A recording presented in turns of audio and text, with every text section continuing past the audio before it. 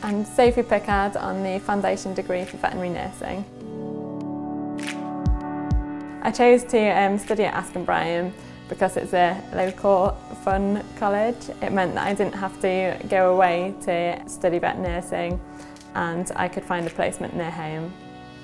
York itself is full of culture. It's just a good fun night out and a fantastic place to learn. I did my GCSEs at um, a local secondary school, Nidderdale High School, and then went on to do A-levels at St Aidan's Sixth Form in Harrogate, and I wanted to do something practical um, that led to a career.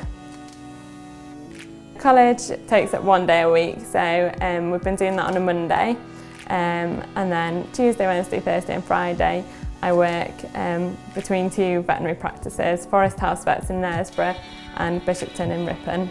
And Bishopton also does out of hours, so we do weekends and night shifts as well. In my first year I learnt um, a wide range of things, so from anatomy and physiology to basic diseases and um, general animal health.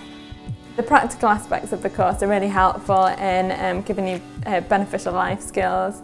Um, I found that I've really boosted my confidence um, by um, having a client-facing role. Um, I can deal with awkward situations now uh, a lot better than I could and um, can also help advise people um, in the veterinary environment.